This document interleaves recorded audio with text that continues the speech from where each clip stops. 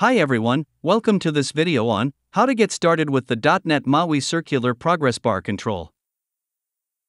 Using the Circular Progress Bar Control, you can show the progress of a task in circular shape.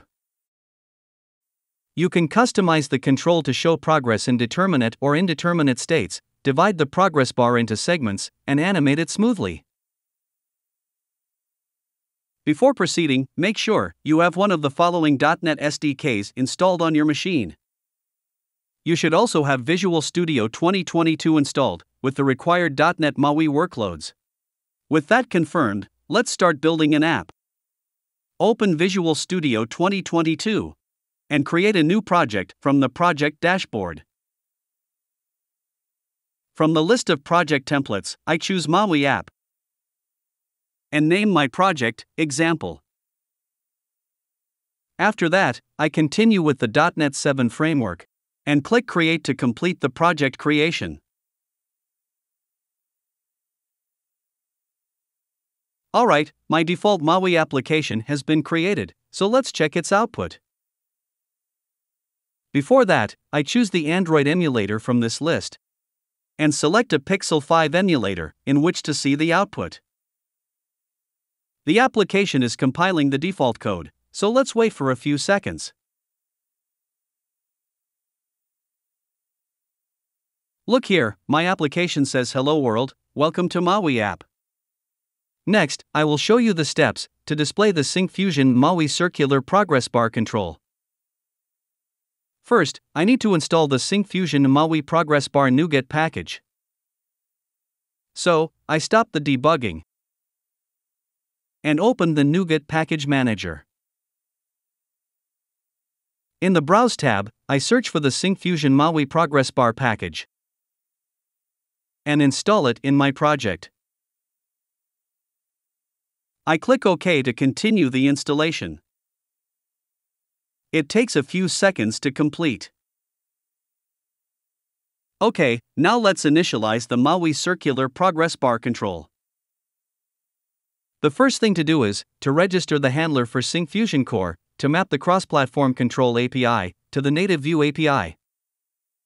So, I open the MAUI program CS file and add the Syncfusion MAUI Core hosting namespace. Then, I register the Syncfusion Core handler by making a call to the method configure Syncfusion Core.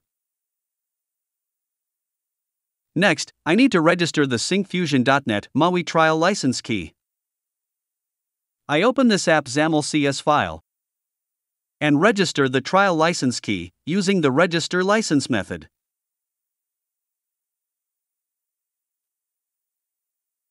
To generate this trial key, refer to the link in the description below.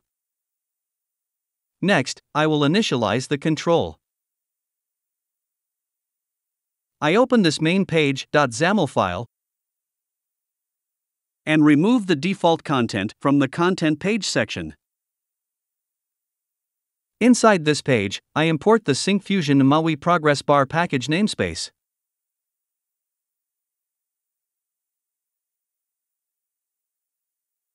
Then, include the circular progress bar control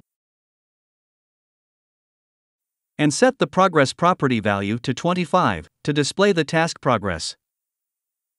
Once everything needed for rendering the control is configured, save the changes and run the application.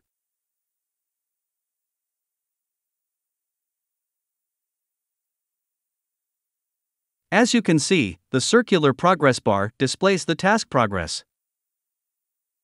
By default, the progress value should be specified between 0 and 100. However, if you want to display a custom range, simply set the minimum value to 10 and the maximum value to 80. Upon checking, the progress value is rendered based on the specified range. Additionally, an estimation to completion is shown. If the progress is not estimable, then the is indeterminate property should be enabled. The progress is now shown in an indeterminate state. Next, I plan to split the circular progress bar into four segments, so I will set the segment count property to 4. I am going to continue with default determinate, so disable the is indeterminate property. Now, the progress bar is split into four segments, with a default spacing of 3. If I want to increase or decrease the spacing between the segments, I can simply define the segment gap width with a custom value. Here, I have set the gap width to 10. Checking now, you can see that the spacing between the segments is indeed 10. Let's move on and see how to display the track and progress in custom colors. To achieve this, I will define the track fill and progress fill properties with custom colors. As you can see, the track and progress indicators are shown in different colors. Additionally, it is possible to visualize multiple ranges in solid or gradient colors using the progress gradient stop property.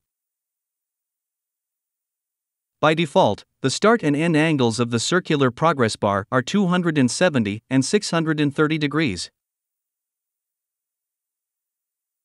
To demonstrate, let me customize the circular progress bar to a semicircle by setting the start and end angles with appropriate values.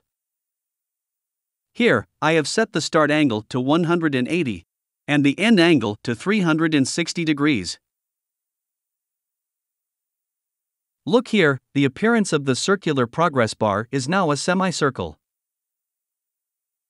Furthermore, it is easy to customize the progress bar's thickness, radius factor, and corner style.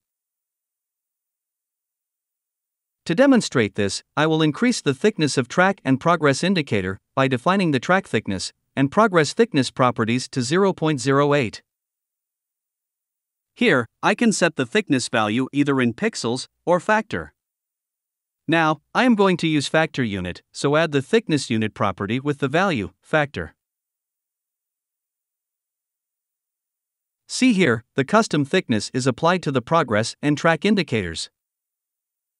Finally, I will show you how to animate the progress value in the progress bar. I will define the animation easing property. You can animate the progress bar with different animation types like bounce out, bounce in, cubic out, spring, and many more. For this example, I am going to use bounce in a type using the static resource to set the animation easing property. As the animation duration is 1000 milliseconds by default, therefore, I will define the animation duration property with a value of 4000 milliseconds to animate the progress value. As you can see, the animation duration is now 4000 milliseconds, and the defined animation type is applied. In this video, we have seen how to create a .NET MAUI app using Visual Studio 2022, how to add the Syncfusion.NET MAUI circular progress bar control to the app, and how to customize it. If you would like to see a working example, you can download it from the GitHub link in the description below.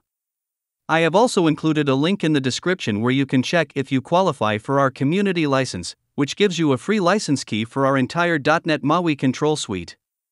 If you found this video useful, don't forget to click the like button and subscribe to our channel to watch more videos like this. Thanks for watching.